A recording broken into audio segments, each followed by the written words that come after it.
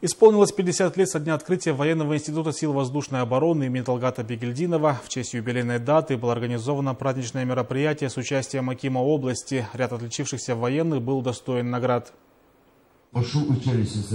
Торжество началось с церемонии возложения цветов к памятнику дважды Героя Советского Союза Талгата Бегельдинова, чье имя носит институт. Мероприятии принял участие прославленный летчик-космонавт Халык Хахарманы Тохтар Аубакиров. В интервью журналистам он дал положительную оценку военному институту и поделился мнением о перспективах развития авиации. Ваш город – это земля. С давних пор связан, связана с авиацией. И скажу, что очень здорово, что авиация э, так э, тесно вписалась э, в историю этого города. Я хотел бы всех жителей поздравить э, с этим великим праздником.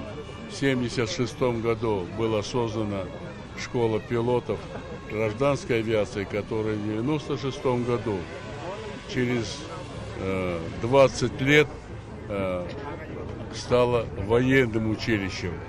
Я думаю, что не за горами тот момент, когда мы начнем здесь обучать и гражданских пилотов. На сегодня военный институт окончили свыше пяти тысяч выпускников. Многие из них трудятся в авиации не только Казахстана, но и стран СНГ и дальнего зарубежья.